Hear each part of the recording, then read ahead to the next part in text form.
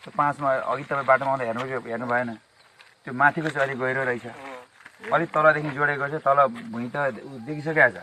त्यो कुन दिन पल्टिने थाहा छैन हेर्नु त्यसो त के अर्थ दादा भनौँ न। बेकारमा बजेटको चाहिँ खेर भएको छ।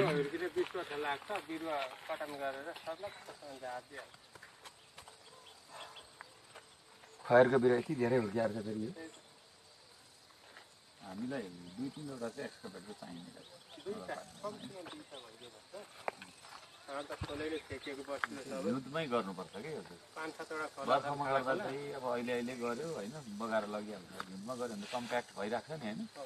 आफ्नो एक्सकाभेटर भयो भने चाहिँ अलिकति काम गर्न पनि सजिलो हुन्छ कि? नभए फेरि काम गराउनलाई आफै गर्न सकिँदैन फेरि कि उपभोक्ता समिति गठन गर्नु पऱ्यो कि ठेक्का गर्नु पऱ्यो त्यो प्रोसेसमै जान्छ कि? आफैसँग आफैसँग सामान भयो भने त ल यो ठाउँमा जाऊ है भनेर हजुरले निर्देशन दिनु यो गरेर यो चोटि यसो गर्न गरौँ कि सुरज सर अब हामी आफै अब अन्तिम तयारी पनि गर्दैछौँ। अब प्रमुखसँग सल्लाह भइरहेको छ। हामी त्यो त्यो सम्बन्धी छुट्टै अब छुट्याएर आउनु पऱ्यो नि त।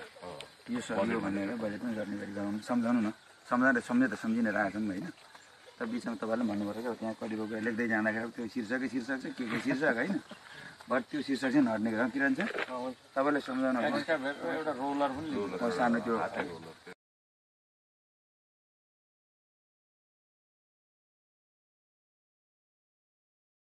लाइसेन्स बिनाकोलाई भन्दा भयो। लाइसेन्स त